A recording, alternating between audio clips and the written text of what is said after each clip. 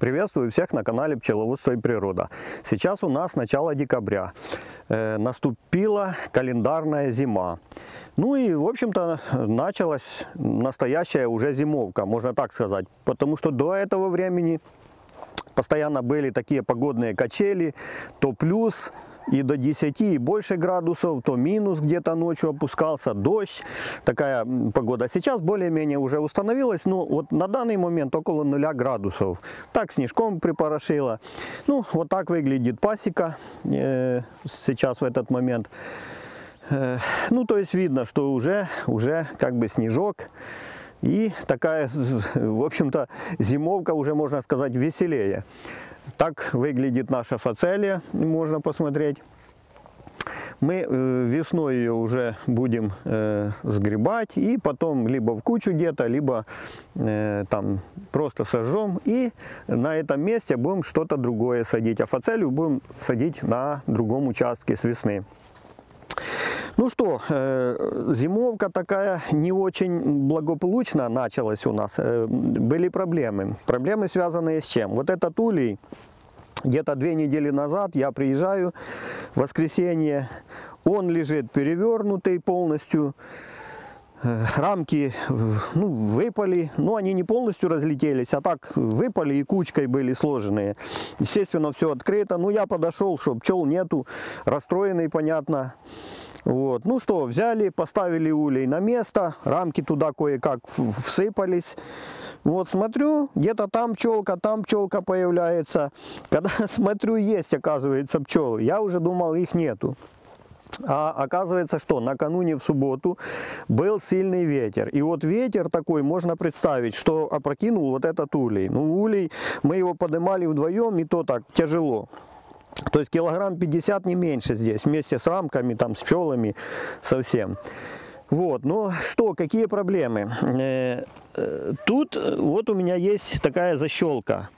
Но я ее не закрыл, так как э, ну, крышка тут довольно тяжелая. Ну, ну как ее может открыть? Оказывается, защелка была вот так вот открытая. Ветром подняла крышку вот таким вот образом. Но поскольку крышка держится вот таким ремнем, то естественно тут получилась парусность, ветер это все подул, и улей этот улетел. То есть я о чем? Я о том, что нельзя так беспечно к этому относиться. И в принципе я же это все приготовил. Защелки есть в основном почти на всех ульях. Но я почему-то не закрыл. Так вот, может быть, расскажу, кому-то будет такое предупреждение. Ну что дальше? Дальше что? Рамки я сложил, так и оставил. И уже на следующую неделю, когда приехал, потому что они тут разворушились, стали расползаться, невозможно было, что-то их есть там, что-то нету. Собрались они в клуб, конечно, часть их передавилась, они подмор повыбрасывали. Ну, кое-какой клуб там собрался, поэтому я уже не пересматривал, есть там матка, нету. Ну, э, пару рамок я еще потом забрал, так как, ну, клуб, конечно, их меньше стало, сжался. Ну, сейчас вот откроем, посмотрим. Ну, вот, вот так вот, раз, два, три, четыре, пять рамочек, и слышно, что жужжат, слышно. Там где-то внизу они собрались. Ну что, не будем мы их беспокоить. Пусть зимуют. Есть уже там матка, нет, будем разбираться весной. Ну, вот такая, вот такая проблемная, как бы, ну, не зимовка, а такое проблемное начало зимовки у меня было, поэтому делаю вывод для себя, чтобы таких не повторять ошибок. И, как бы, может, напоминание кому-то будет. Вот, ну что, посмотрим несколько семей сейчас, э, как собрались, как начало зимовки, в каком состоянии. Ну, посмотрим сейчас несколько ульев на украинскую рамку, как собрались, и потом несколько ульев на додановскую рамку. Вот тут у меня уже закрыто, научила меня, закрывать надо. Так, открываем. Везде в улье сухо, вот видно там сухо-сухо везде. То есть зимовка, ну, начало, по крайней мере, отличное. Так, что здесь? То же самое. Жужжат где-то там внизу. Раз, два, три, четыре, пять. Ну что, везде сухо, везде все нормально. Начало зимовки. Меда им тут достаточно. Все, закрываем. Следующую на украинскую рамку. Ну, на украинскую рамку там постоянно меня спрашивали, как зимовка на украинскую, как на додановскую. На украинскую рамку э, на узковысокую пчелы движутся только вверх. Клуб занимает практически ну, все рамки по, ну, по центру. Вот, и двигаться только вверх. При условии того, что достаточно меда, то зимовка беспроблемная. Вот. Они только уже к весне где-то появятся вот тут, э, ну, ближе, что их будет видно. А так они где-то там внизу. Ну, вот так, сухо, везде все нормально. Ну, еще один. Картина одинаковая везде. На украинскую рамку картина везде одинаковая. Ну вот, можно посмотреть. Жужжат, и там где-то внизу их не видно. Все. Вот так зимуют на украинскую рамку.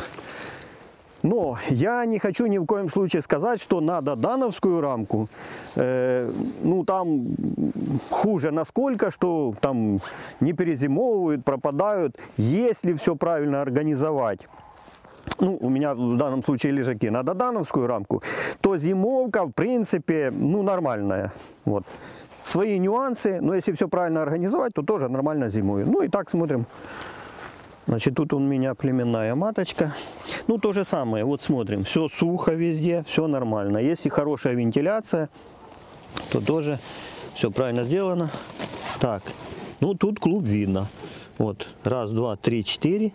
Пятая там чуть ниже. Ну, вот так вот клуб занимает. И здесь впереди Впереди клуб доходит до, ну, до верха доходит и туда куда-то вниз пошел.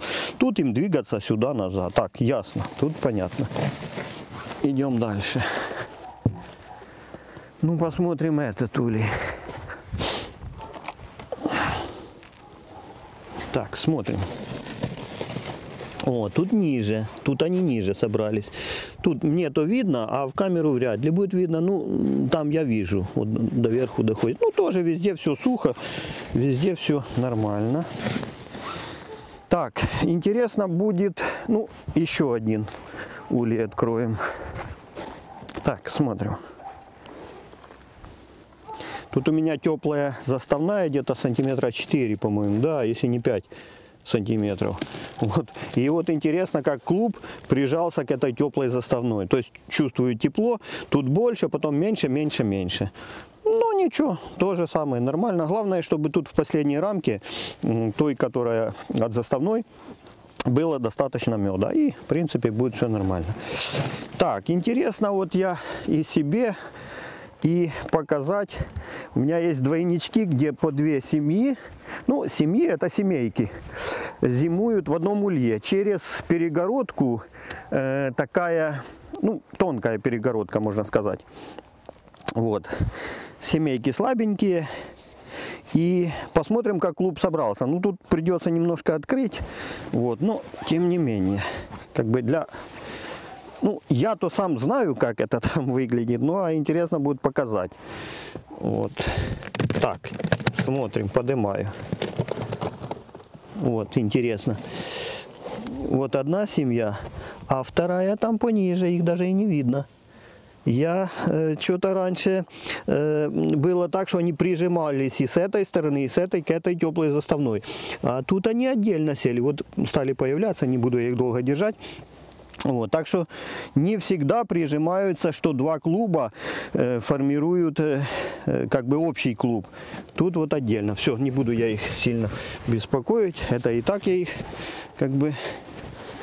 Но э, кто там будет мне задавать вопросы, что почему ты туда лезешь и так далее, мы снимаем видео. Поэтому исключительно ради видео. Для себя я как бы знаю, как они у меня зимуют, как они собрались. Знаю, что там все нормально. Так, вот еще тут. Они, может быть, здесь собрались так, что организовали общий клуб. Возможно. Но вот сейчас попробуем. То же самое. Две маленьких семейки. Так, смотрим. О, вот здесь то, что я и хотел увидеть. Вот перегородка, вот один клуб, вот второй клуб. И образовали они один общий клуб. Вот так, в принципе, в основном и собираются, когда две небольших семейки через тонкую перегородку. Все, понятно, увидели. Закрываем. Ну и тут, конечно, самое главное, чтобы вот э, очень хорошо э, отделить две семьи, потому что если только э, будет хоть малейшее где-то м, пространство, они могут объединиться полностью. Полностью могут объединиться. Поэтому тут вот такой нюанс. Ну все, в общем-то, все понятно. Как проходит начало зимовки, пока что начало зимовки. Везде сухо, в принципе, все нормально. Ну, семейки слабенькие, тут по разным причинам. Я об этом неоднократно рассказывал.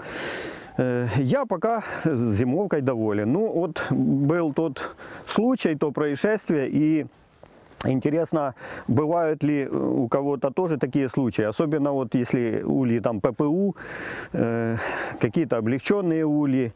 Ветер, казалось бы, тут и в в основном и деревья, какие-то здания и все, и тем не менее получился, что был такой ветер. Поэтому вот у кого какая ситуация, пишите в комментариях. На этом все. Пока.